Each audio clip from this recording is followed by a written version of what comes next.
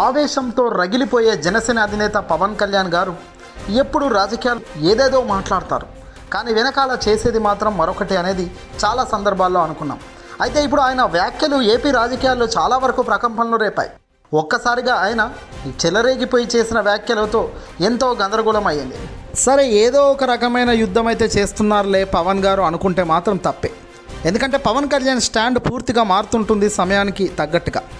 అవును నిన్న మొన్నటి దాకా అసలు బద్వెల్లో పోటీ చేయబోమునని అక్కడ వైసీపీ నిలబెట్టిన సుధా గారికే నా మద్దతు అంటూ పవన్ ప్రకటించేశారు. వైఎస్ఆర్సీపీకి సంబంధించిన ఎమ్మెల్యే వెంకట సుబ్బయ్య గారు మరణించారు కాబట్టి వాళ్ళకు గౌరవప్రదంగా ఉండే మాదిరి మేము వెనకడుగు వేస్తున్నట్టుగా చెప్పారు. అయితే ఇదంతా బాగానే ఉంది. ఇక్కడే అసలు ట్విస్ట్ వచ్చింది.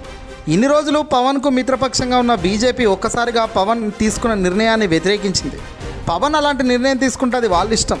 కానీ బీజేపీ కుటుంబ రాజకీయాలకు ప్రోత్సహించదు కాబట్టి మేము ఖచ్చితంగా అభ్యర్థిని ప్రకటించుకుంటామంటూ సోము వీర్రాజ్ తెలిపారు. దీనికి తగ్గట్టుగా ఆయన ఒక మనిషిని సెలెక్ట్ చేసుకొని ఆ మనిషిని కూడా అభ్యర్థిగా నిలబెట్టుకున్నారు.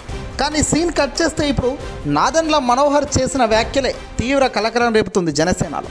ఇప్పుడు అనూహ్యంగా బీజేపీతో కలిసే మేము ఉన్నాము. ఖచ్చితంగా బీజేపీ అభ్యర్థి గెలుపుకు కృషి చేస్తామని కీలక ప్రకటన చేశారు. అంటే నిన్న మొన్ననేమో గౌరవంతో వెనకడుగు వేస్తున్నామన్నారు.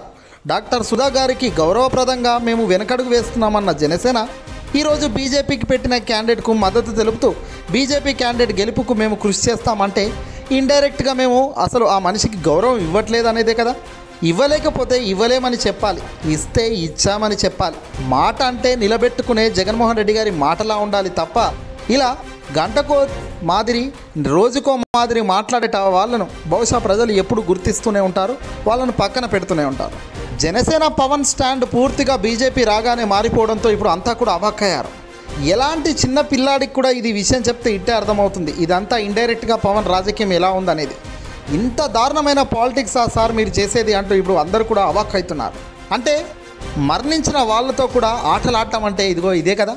ఎమ్మెల్యే వెంకట సుబ్బయ్య గారు మరణించారు. కాబట్టి గౌరవప్రదంగా నేను రాజకీయాలను వెనకడుగు వేస్తున్నా. ఇలాంటి రాజకీయాలకు నేను కొత్తగా నేనే ఇక స్టార్ట్ చేస్తున్నాను అనే మాదిరి బిల్డప్ ఇచ్చిన పవన్ మరి ఆ బిల్డప్ ఇప్పుడు ఏమైంది అంటున్నారు. ఏదైనా పవన్ చెప్పేది మాటలు సూక్తులే తప్ప ఆచరణలో లేదని ఇదిగో ఇలాంటివి చూస్తుంటే అర్థమవుతుంది.